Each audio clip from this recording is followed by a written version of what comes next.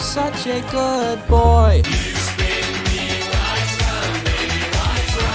Hello, LGBTQ community.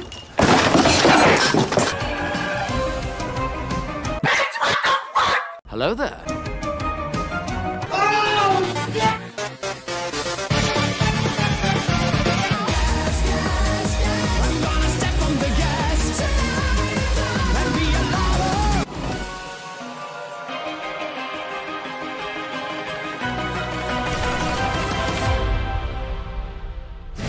Water. Earth. Fire.